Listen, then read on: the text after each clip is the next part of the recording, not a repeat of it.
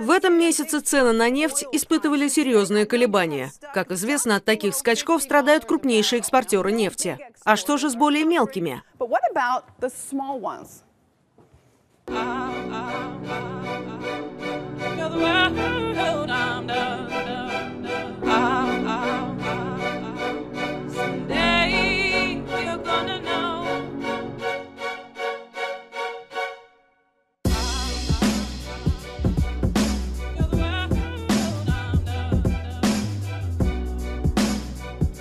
Of oil has yet to find a bottom. The price of oil has dropped again to the lowest levels in more than five years. Oil has not yet hit bottom. We could. Oh my God!